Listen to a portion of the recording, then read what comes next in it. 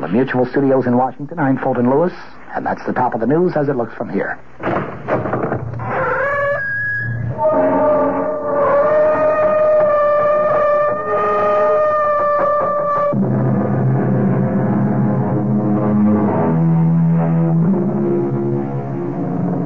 Come in. Welcome. I'm E.G. Marshall. Welcome to the sound of suspense. Welcome to the fear you can hear. But mostly, welcome to the world of terrifying imagination. The story you're about to hear is a love story. But a love story which begins at the point where many love stories end. It begins after the wedding march has been played, after the vows of love and fidelity exchanged. It begins on the honeymoon in a strange and terrifying fashion. Don't! Don't! Don't come near me! Stay! Stay away from me, Dad! Susan, are you out of your head? I saw her picture. Do you hear me? I found her picture on our honeymoon.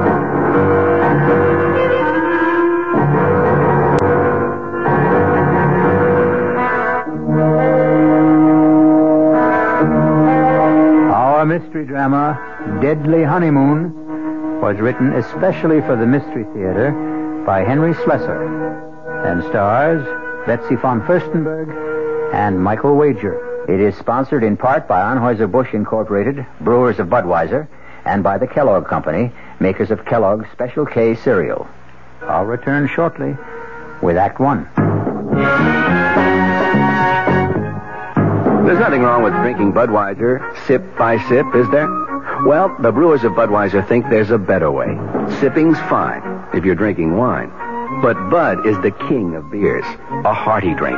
Look, rinse a 10 or 12 ounce glass with cold water. Then open a can or bottle of Bud and pour it right down the middle so it kicks up a good head of foam. Now, take a big drink and then swallow big.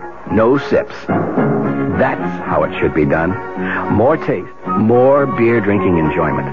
Thanks to exclusive Beechwood aging, Budweiser has a smoothness that lets it go down especially easy. Sure, it's an expensive way to brew beer, but brewing beer right does make a difference. That's why when you say Budweiser, you've said it all. Anheuser-Busch, St. Louis. This is WOR New York, your station for Mystery Theater. Uh, now, ShopRite does the can, can, selling ShopRite brand of vegetables and cans, cans. For quality that you can trust, for tasty corn, asparagus, for peas and beans, at gourmet scenes, for beef that beat all other treats. The only vegetables that can compare at all with ShopRite brand are vegetables you treat yourself instead of picking off our shelf. Now's the time to shop at ShopRite Can Can Blast. Now's the time to stock up while the values last. Stock up on ShopRite soda. Tell 12 ounce cans for 79 cents. Potatoes that will make the meal, and carrots that have big appeal. A succotash that makes a splash. Spinach that won't finish last. Now's the time to ask yourself, so why pay more? Now's the time to shop right now at ShopRite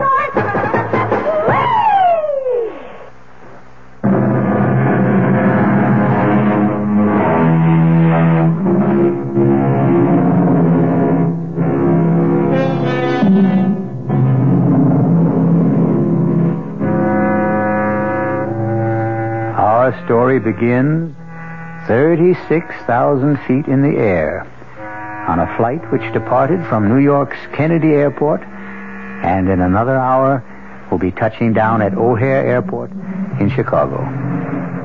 There are almost a hundred passengers on this flight, but an observant stewardess is giving special attention to that handsome couple in seats 18A and 18B. Perhaps it's because all honeymooners have a special radiance. Are you sure you wouldn't like some more coffee? Oh, no, thanks. Not for me.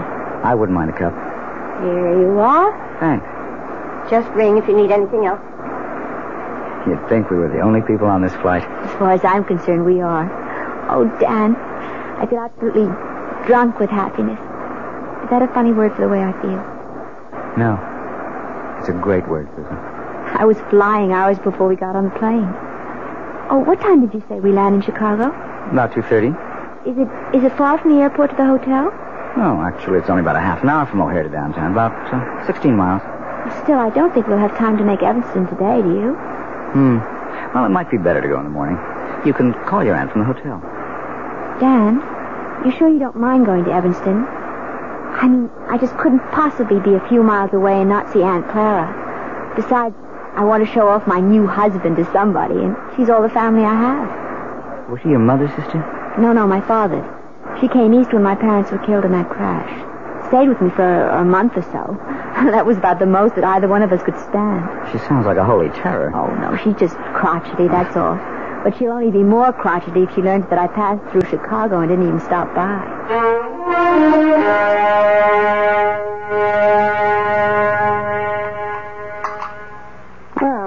What kind of work are you in, Mr. Carey?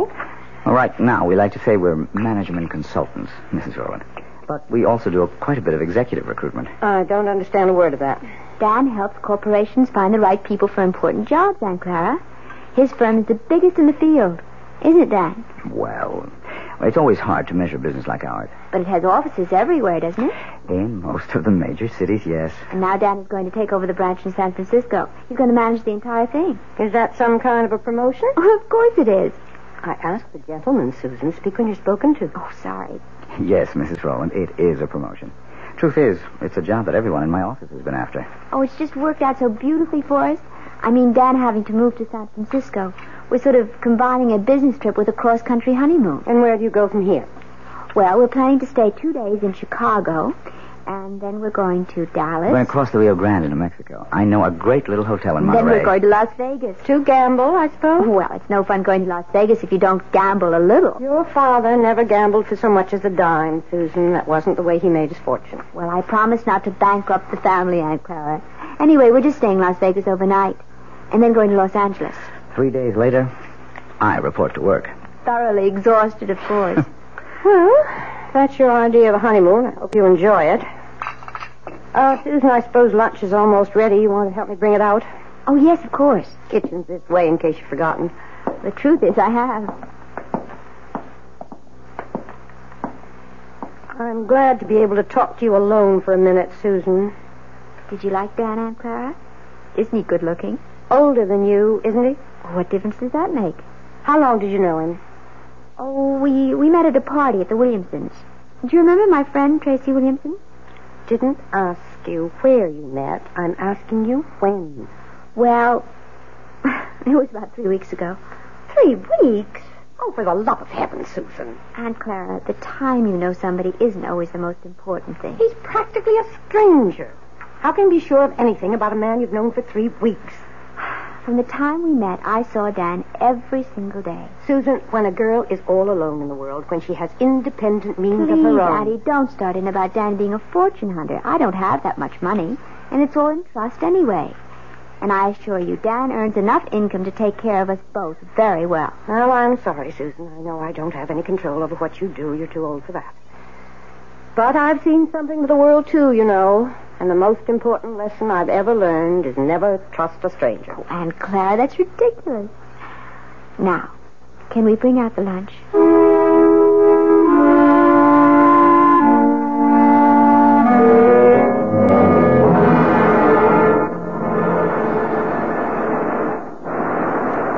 I don't know. I just, I just have the feeling that Chicago wasn't all you expected it to be. Well, we weren't there very long, Dan. And don't forget, we, we spent half the time with your business associates. Oh, honey, I, I am sorry about that. I suppose I never should have called Bill Kincaid to say we're in town. Should have known he'd insist on getting together. Oh, it wasn't that bad. I just didn't know what he was talking about half the time. All those office politics. Yes. Well, Bill loves to gossip. But you can see what I mean about the San Francisco job. Everybody in the company wanted it. They'll never get over resenting me for being picked. But I am sorry if you were bored. It's all right, Dan, really. After all, I inflicted Aunt Clara on you. She was okay. Well, I know you didn't find her very friendly. Well, why should she be? I think she's a very protective type. Anybody you married would get her jaundice eye. yes, I suppose that's true enough. Dan, how long did you know Terry Williamson? Who? Terry, my ex-roommate. We met each other at her house. Or have you forgotten that already? Tell you the truth, darling. I didn't know whose house I was at that night. Oh, so Terry wasn't the one who invited you. No. It was a man named Bob Chambers, one of the executive types. I got placed at General Utilities.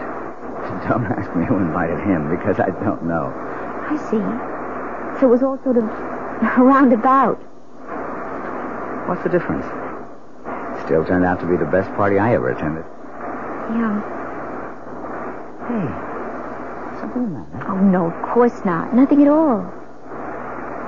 Uh, Dan, where did you say we were staying in Dallas? It's a little hotel called the Lazy Sea. It's kind of rustic, but I think you'll like it. Besides, we'll only be there one night. We'll rent a car in the morning and drive down to Monterey. You really know all the offbeat places, don't you? Well, when you travel around enough, I, I guess you begin looking for them. You haven't done that much traveling on the job, have you? Huh? Well, no, not that much. Say, do you know the name of the airport in Dallas? Um, I forget. It's called Love Field. Isn't that a great name for honeymooners? Yes.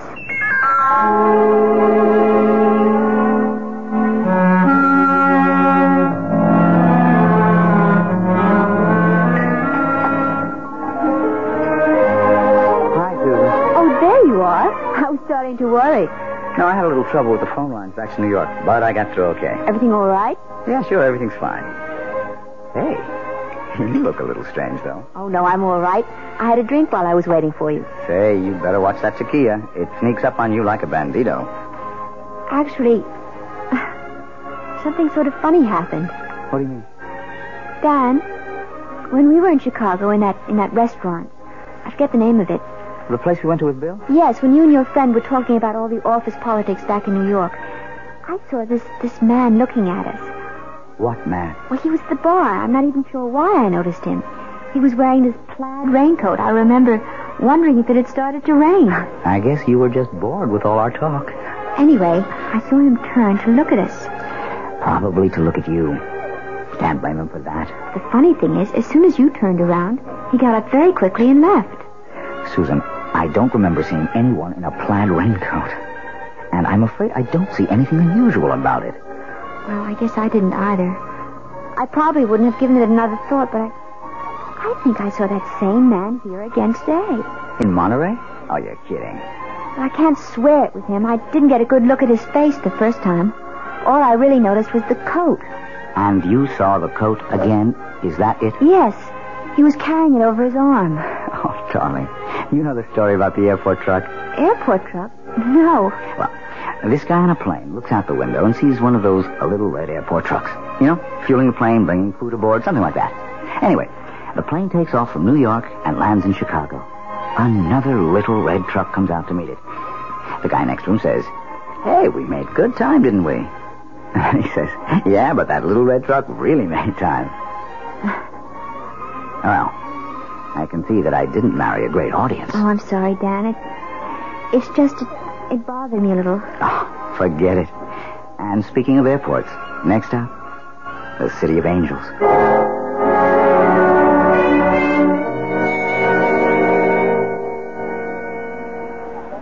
Let's see. I wonder if they have this week's digest. Oh, I see it. Excuse me. Yes? You're Mrs. Daniel Carey, aren't you? Why, yes, I am. Do I know you? No, Mrs. Carey, but I know you.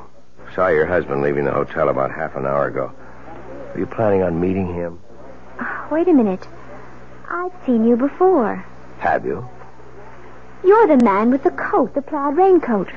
Well, you happen to be right. I do own a plaid raincoat, but with this nice sunny weather. Excuse me. Look, Mrs. Carey, I know it seems as if I'm following. Yes, it does. Well, okay, it's true. But I've had a reason. Such as? Could we talk about it someplace? There's a coffee shop in the hotel. I'm sorry. I don't even know who you are. Maybe it would help if I introduced myself. My name is Harrington, Lieutenant Gail Harrington, attached to New York City Police Department. Police? That's right, Mrs. Carey. So you see, what I have to discuss with you is police business. But what, what have I done? It's nothing you've done. It concerns your husband and what he might do.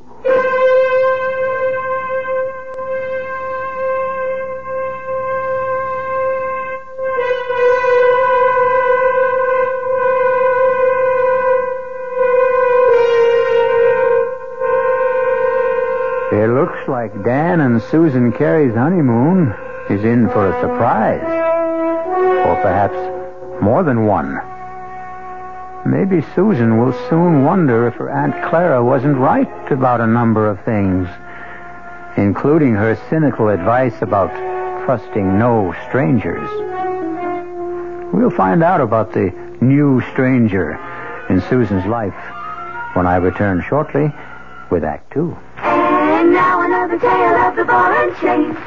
At Kellogg's Special K presents... Last Tango in Pittsburgh. There I was at Raoul's Right Tango Lounge. My little orchid, will you tango with me? It was Raoul. Hmm, you're a splendid dancer. But what was that? I was what? That sound effect. Oh, I'm a few pounds overweight, and this ball and chain points out how my extra weight can get in the way.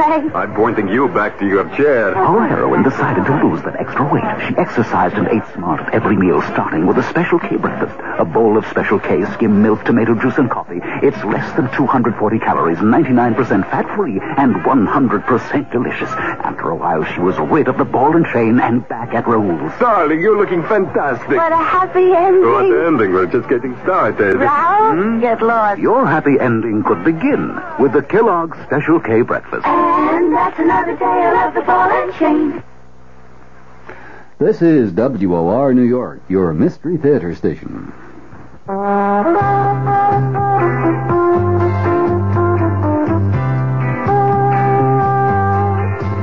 No matter what you're saving for, that's what Suburban Savings for Suburban. Suburban Savings offers you a regular savings account with flexibility. You can add any amount to your account whenever you wish. Withdraw whenever you want. Suburban Savings pays a 5.25% annual interest rate on regular savings paid quarterly, which earns an annual effective yield of 5.47%. Interest is compounded continuously from day of deposit to day of withdrawal, as long as $50 is maintained in the account to the end of the quarter. Come into Suburban Savings and open an account with flexibility. Our regular savings account in New Jersey at Bayonne, Edgewater, Elmwood Park, Emerson, Hackettstown, Morris Plains, Nutley, Paramus, and Sparta.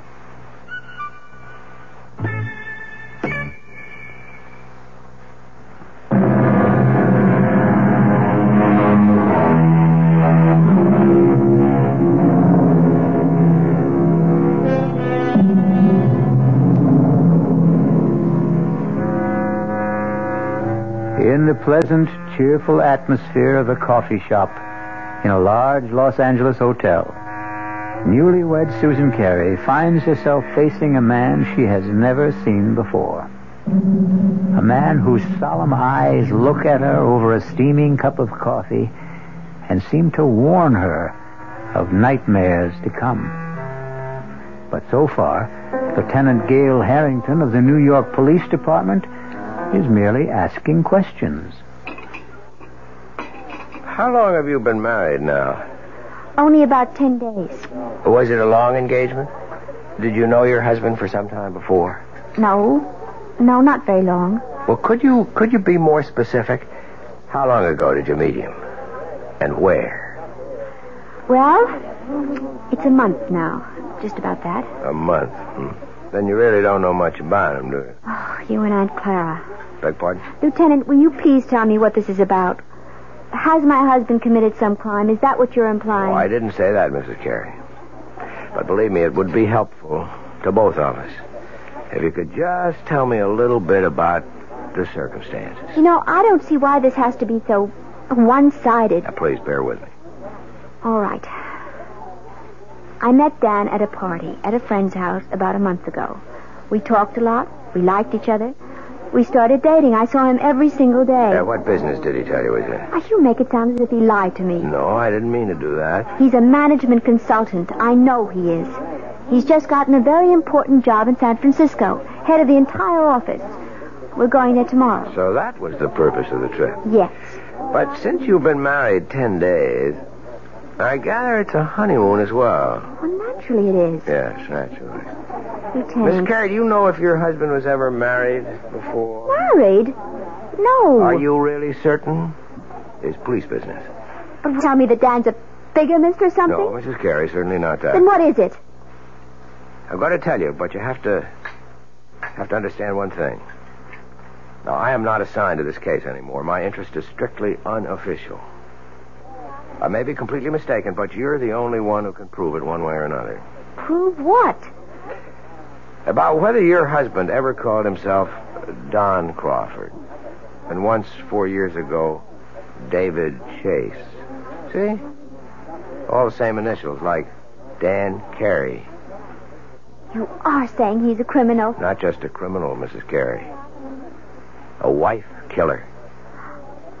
You're crazy. I hope so. Believe me, I do. Let me start at the beginning. If you still think I'm crazy by the time I'm finished, I'll be happy to buy you that coffee and go on my way. But if you think I'm not, if you have any doubts, then I want you to tell me so and let me help you.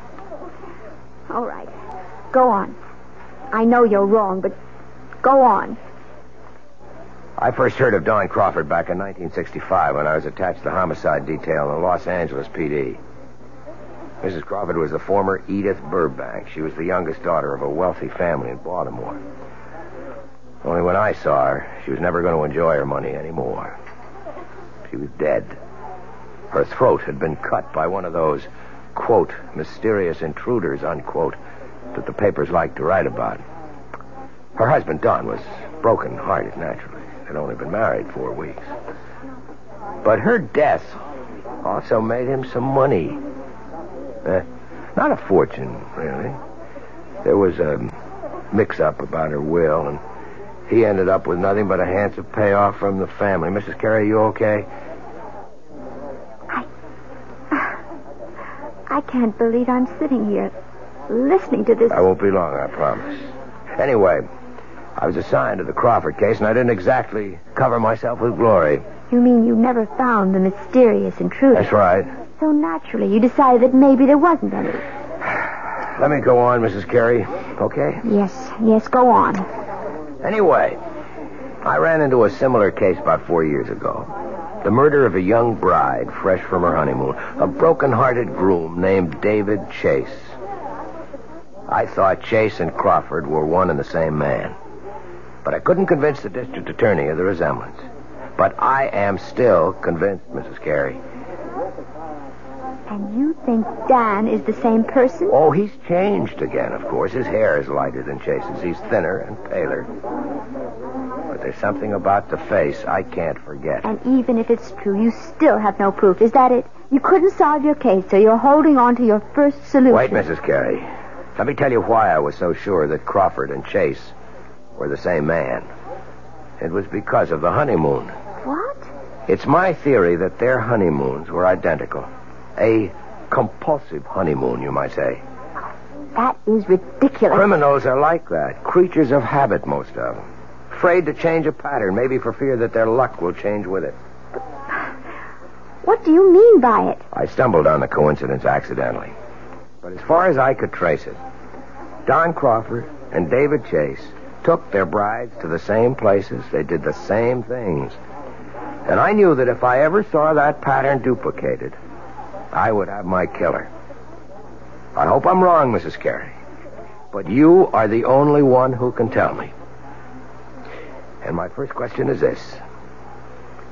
Was your first stop Chicago? Yes. Yes, of course it was. And you knew that. That's where we first saw you in Chicago in that restaurant. Okay, okay. I just wanted to make sure. You can't possibly make something out of that. Dan wanted to see people in the Chicago office, and I thought it would be nice to visit my aunt in Evanston. She's my family. Was your next stop after Chicago in Texas? Yes. We went to Dallas. Dallas is a wonderful place to visit, Lieutenant. I don't see anything so peculiar about that. Both Chase and Crawford went to Dallas. They chose offbeat hotels. I guess they didn't care to be seen very much. Where did you stay in Dallas? It was a perfectly nice hotel. I, I don't think you could describe it as offbeat. All right. And then the next stop would be Monterey. You knew we were in Monterey because that's where I saw you the second time. By that time, Mrs. Carey, I'd made up my mind to follow you. Are you saying that these these supposed white killers you're talking about also went to Monterey? Yes, they did, and from Monterey to Las Vegas. Well, then you're wrong, Lieutenant. You're completely wrong. You mean you didn't go to Vegas? No. So there goes your famous theory, doesn't it? Well, I, I admit I'm We changed our mind about Vegas. We decided that we might be too tempted to gamble away all the money we had for the trip. Ah, so you did have it on the schedule. Well, Yes. Yes, we did, but we didn't go. I really think that changes the pattern? The fact that you didn't go? Oh, please, I... I can't stand any more of this. I... I don't want to hear any more of it. Mrs. Carey, Edith Burbank was killed in Los Angeles, in her hotel room. This hotel. I'm leaving. I'm leaving. I'm Mrs. leaving right Carey, now. wait. You're wrong. You're wrong. You've got Dan mixed up with someone else. Let me finish, please. Just one more Oh, moment. please, no, no, no, please let me go.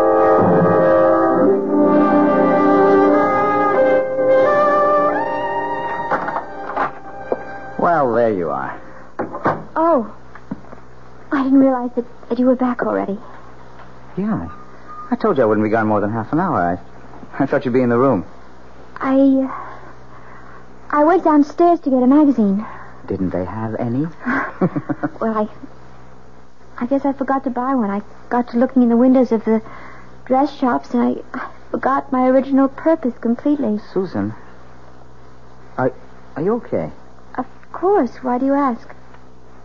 I don't know. You've, you've got that funny look in your eyes again. Have I?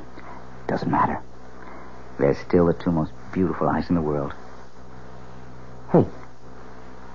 What is this? Don't tell me the honeymoon's over so soon. Why do you say that? Uh, that was like kissing a snowman. I guess I. I just don't feel like myself today. I think maybe. Oh. All this traveling has worn me down a little. Oh, I am. I'm sorry.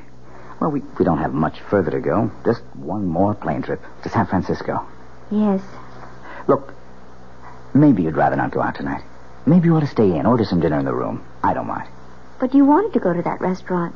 The one you told me about. You've been looking forward to it. The landmark? Yeah, yeah. Well, I did want to try the place. It was supposed to be really spectacular. But you've never eaten there before. Well, no, how could I? I've never been in L.A. before. I was thinking today that, well, you seemed to know the city so well when we drove around. You, you didn't seem to have the slightest trouble. The streets are very well marked in this town. It's really a pleasure to drive here. I... Look, you know what I think? I think you ought to take a nap before dinner. Yes. I was thinking of lying down, but I don't think I can sleep. Okay, then. Just just read your magazine. Wait a minute, you haven't got one. I'll take care of that. Where are you going? Going to get my bride something to read. How about a nice magazine about cooking? You know, I never did ask you if you can cook.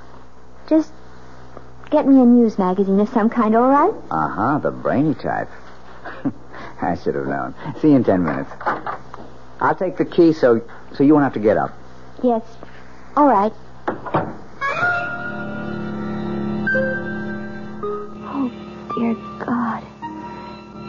Can't be true. There just can't be any truth to what that man said. He, he's made a mistake.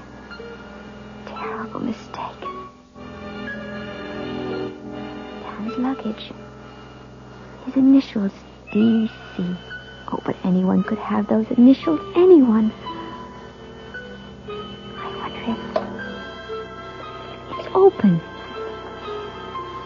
Oh, for heaven's sake, what am I doing? My husband's luggage like like some kind of hotel thief. No. I won't do it. I won't. I'm not going to believe any of it. I won't. Who's that? Hello? Mrs. Carey, it's Gail Harrington. Leave me alone. Stop bothering me. You shouldn't have run off like that, Mrs. Carey. You didn't give me a chance to finish what I was saying. I told you I, I don't want to hear any more. It, it isn't true. You have made a mistake, Lieutenant. Your husband is at the newsstand right now, Mrs. Carey. I can see him from where I'm standing at the house phones. And the more I look at him, the more sure I am that I'm right. No, you're wrong. I want you to hear the rest of the story about Crawford and David Chase and what they did on their honeymoon. Maybe what I told you before didn't convince you, but if you heard a few more things. I'm going to hang up, Lieutenant, right now. I wanted you to know where Don Crawford took his wife the night she was murdered in a room. He took her to a restaurant called The Landmark. You ever hear of it? Mrs. Carey? Hey, are you listening? No. No, I'm not listening. I won't listen.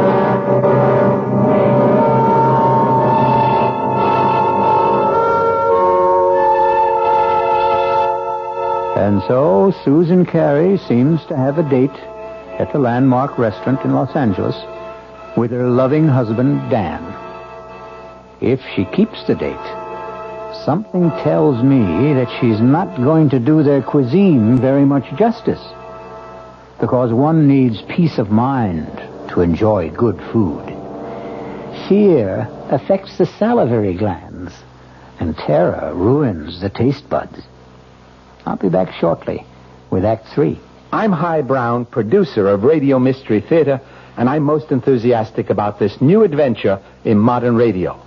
Here's what listeners are telling us. Your program was absolutely great. Don't oil the door. Or again, you've got yourself a winning show. We'd like your reactions too. Right now, we're in the last week of our drawing for 50 prizes a week. Two AM FM stereo phonos, two travel clock radios, and 46 anthologies of modern suspense. Just mail your name and address, and you're eligible, to Mystery Theater, Box 50, Radio City Station, New York 10019. That's Box 50, Radio City Station, New York 10019. Entries must be postmarked no later than Saturday, January 26. Offer good everywhere unless locally prohibited. This is WOR New York, your Mystery Theater station. An invitation. This is Peter Roberts. Join us Sunday morning, 8.15 to 10 here on WOR for Rambling with Roberts. Two hours of music, uh, specially selected for Sunday morning listening pleasure, along with, uh, oh, bits of weather information, news headlines, uh, bits of trivia such as the fact that uh, a man from Onawa, Iowa, received a patent for what he called Eskimo pie, which was ice cream coated with chocolate. It all happened in 1922. It may not seem like very much in the way of history, but it does take place, these little bits of trivia and information, on Rambling with Roberts. So, of a Sunday morning, make a note. 8.15 to 10, right here at 710 on your dial, come Rambling with Roberts. You don't have to give us an RSVP. Just be on hand. Thank you.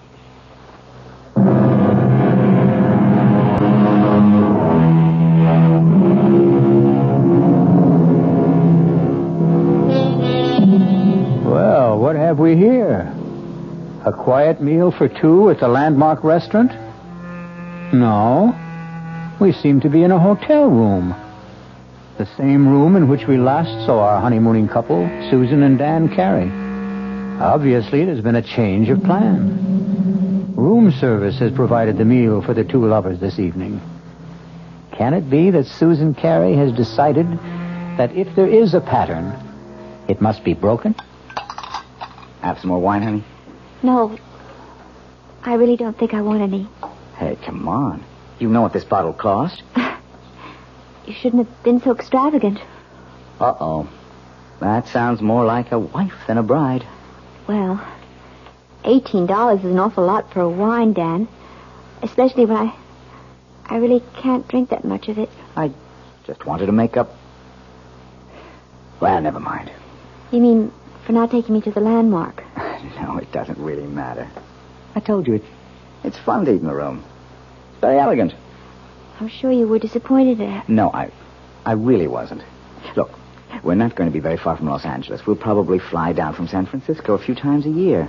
There are dozens of wonderful restaurants in San Francisco, too, aren't there? So they tell me. I'll ask the guys at the office for recommendations. I think this food is quite good, don't you? Yeah, sure. It's, it's fine. Tastes even better with the wine. Well, all right. I'll have some more, I guess. That a girl. Now, look, I'm not trying to get you drunk, you understand, so I can take advantage of you. Although, come to think of it... Dan, oh, don't. You almost knocked the table over. Sorry, I guess I got a little carried away. You look very delectable in that robe. Oh, did you really like it? Irresistible. I didn't take much of a wardrobe with me. You said you were going to buy clothes in San Francisco. Yes, if I can find out where to go, I... I'll take you down to Union Square. I hear that's the place. Oh, I have told you about the weekend, haven't I? No. What about it? Well, I thought we'd get our first look at the town by taking one of those Circle Line cruises. That okay with you? Oh, yes, that, that sounds lovely. I love to see places by water. And if we can squeeze it in, we might go picnicking in Golden Gate Park. They've got this Japanese tea garden. It's supposed to be very nice. Yes. All sounds wonderful, Dan. Susan, I, I just wish you felt better. Listen, I, maybe you ought to check with the hotel doctor in, in case you picked up a bug or something. Do I look that bad to you? No. You look just great to me, darling.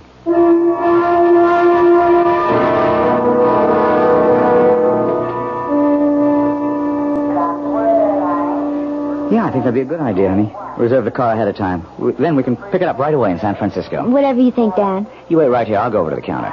It's all right. Be back in ten minutes. All right, Dan. Mrs. Carey. Oh, no. Not you again. I didn't mean to startle you. Go away. Please go away. I don't want to see you anymore I hear anything you have to say. Now, I know that I seem to be persecuting you or something. As you can see, Lieutenant, I am in perfectly good health. I was not murdered in my sleep in that hotel room. Look, Mrs. Carey, I've only got a few minutes before your husband gets back. I just wanted to finish my story about this other guy, this David Chase. I don't care if you are a policeman. I'll call someone and have you arrested for bothering me. David Chase's wife didn't get killed in Los Angeles. She died in San Francisco. Where? In a hotel room? No, not there. But they stayed at the San Remo. Is that where you're staying? Yes, but millions of people do. No, there wasn't any mysterious intruder this time. In fact, Mrs. Chase's death was listed officially as an accident. She had a little too much to drink at dinner, and her feet got tangled up on top of a very steep hill. The fall broke her neck. It was her very first day in San Francisco. She and her husband had quite a day, too. They took one of those boat cruises to see the city. Then they went to Golden Gate Park to the Japanese tea garden. Miss Carey, are you okay? No. No, I'm. I'm not okay. How could I be? That night they went to a restaurant called the Vendome. That's where the lady drank too much, at least according to her husband. Oh, dear God. Listen, Mrs. Carey, I can't follow you anymore. I've got a job to get back to. I want you to take this. Con. Quiet. Don't draw anyone's attention to us. Just take it. If I'm wrong and you don't need it, fine. Just throw it away. No. I don't want I it. cannot have you on my conscience, don't you understand? All right. Yes, all right. I'll take it. I still say you're wrong. I hope so. But I don't think I am.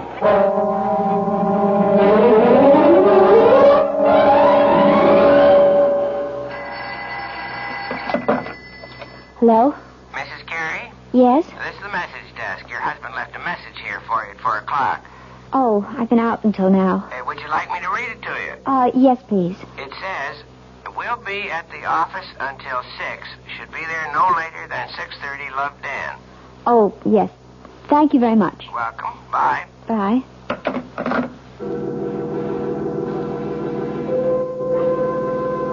Six thirty.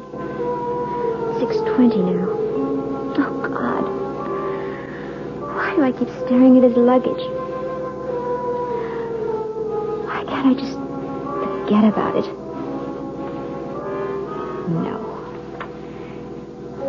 It isn't dishonest. It's just something I have to do.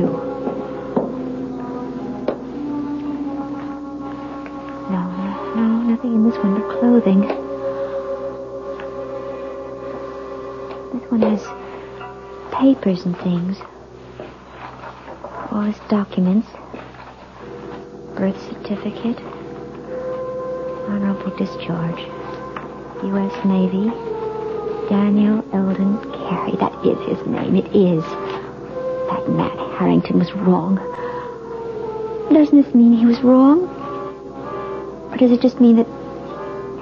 No. I'm not going to start thinking that way.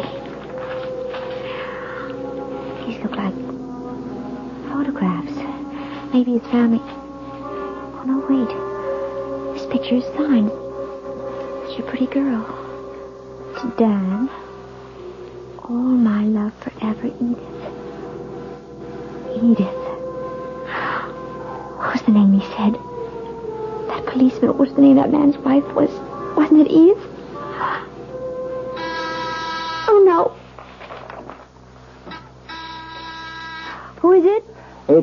Honey. Oh, uh, one second. Hi, sweetheart. Sorry. I forgot to take my key. Hey, I'm not late, am I? I told him at the desk I'd be back at six. Well, it's not even that. Hey, why is it so dark in here, Susan? Oh, I, I just, I just got back myself. I, I didn't think of turning on all the lights. Susan, I have a confession to make. I wasn't at the office at all. My new staff thought they ought to christen the new boss. I tell you one thing about San Francisco. It's a hard drinking town. Susan, what's the matter? Dan, I found her picture. What? I found her picture. Your first wife's. What are you talking about? I was never married. Then what's her picture doing in your luggage? Hey, hey, hey, what's going on here? You must be drunker Look, than I am. me. Stay away from me, Dan. Susan, are you out of your head? I saw her picture. Do you hear me? I found her picture. On our honeymoon. Now, wait a minute. Wait a minute. You, do you mean Edith? I know all about her. Yes, and about the other one. She drank too much, too, didn't she? She was drunk, too. Now, look, will you calm Is down? that what you were planning to do tonight? Get me drunk? At the restaurant? You were going to take me out to dinner tonight, weren't you? Of course I was. I asked one of the guys at the... Well, I can tell you the restaurant he picked. Do you want me to tell you the name of the restaurant, Dan? It's the Vendome, isn't it? What? What? Well, yes. I mean, it is. How did you know that? Because I know it all. I know everything. Oh! No, no, no, don't, don't, don't come here. I'll call the police. Now. Susan, look, look. I don't know what the trouble is, but you've got to be sick. You need help. No, don't come any closer. You've been acting funny ever since we left Chicago. I'm warning you. Look. Look, My God. I've got a gun. Susan, put that down. I'm not going to end up like them. Give me that thing, Susan. Don't! Oh, don't, Susan! Daphne! Susan! I don't want to shoot you!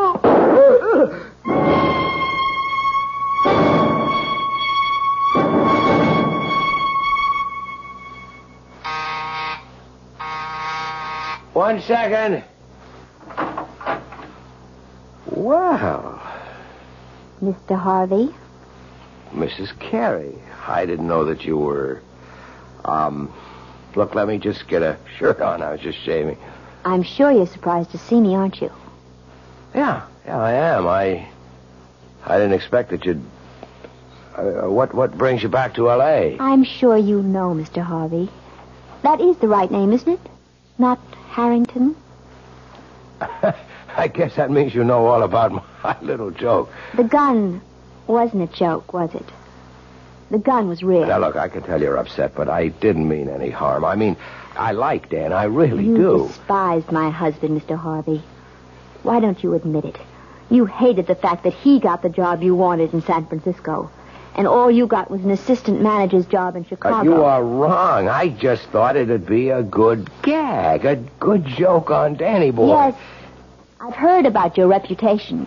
The great practical joker. You thought of a great one this time. Yeah, but that's all it was. You gave Dan the itinerary for our honeymoon trip. You were just being helpful, of course.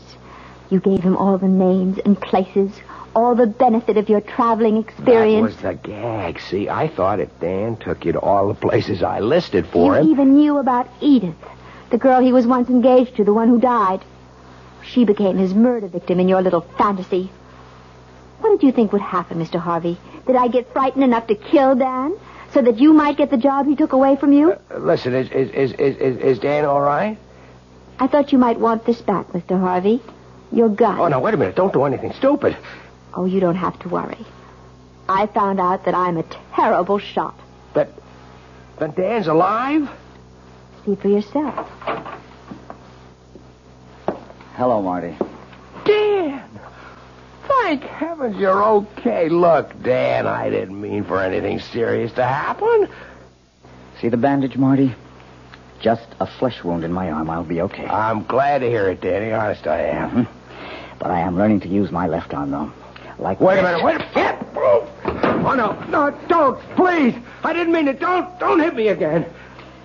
Relax, Marty. I've got better things to do. I've got a honeymoon to finish. Although, with any luck, it'll never end.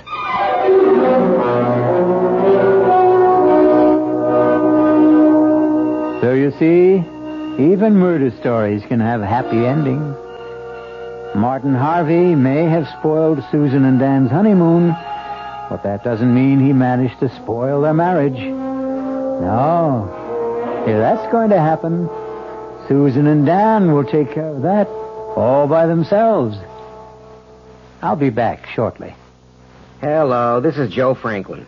Ladies and gentlemen, and boys and girls, for the very latest in nostalgia, for the ultimate in remembering, please join with me on Saturday nights from 9.05 to 11 o'clock, where memories are truly happening right here over WOR Radio.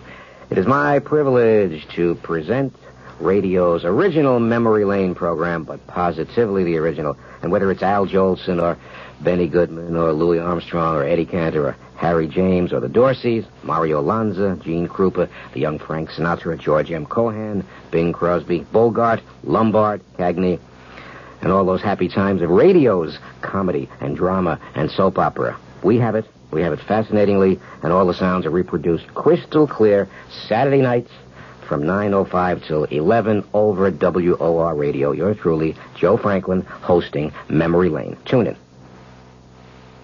WOR New York, your station for Mystery Theater. This is Sherrye Henry. All New York knows it lost its governor recently when Rockefeller resigned. And we all know he's concerned now with his new commission on critical choices for America. But not many of us really understand what that commission is all about. Well, we'll all know more tomorrow afternoon when Henry Diamond, the executive director of that commission, divulges goals and directions. It's on the Sherrye Henry program at 2.15 on WOR Radio.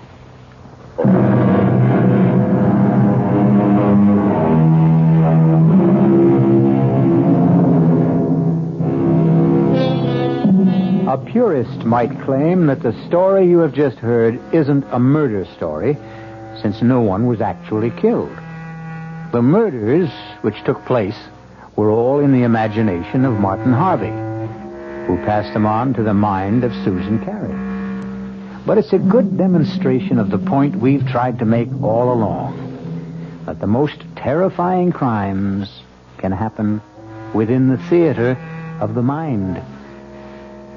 Our cast included Betsy von Furstenberg, Michael Wager, Elspeth Eric, and Mason Adams. The entire production was under the direction of Himan Brown. Now, a preview of our next tale. What are you thinking about, child? The day you said it was bad luck for us to see each other before the wedding. Nobody believes those old wives' tales. Nobody believes so many things that are outside the ordinary. Did you see Michael's body after? Don't talk about that, lass. I know they said the horse trampled him. I asked Dr. Ferguson about the hooves, and he wouldn't tell me. You'd tell me, wouldn't you, Jeannie? Oh, tell you what? Were they like horseshoes, or were they cleft in two?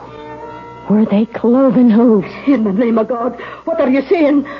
I'm not speaking of God. I'm speaking of the devil. This is E.G. Marshall inviting you to return to our Mystery Theater for another adventure in the macabre. Until next time, pleasant dreams.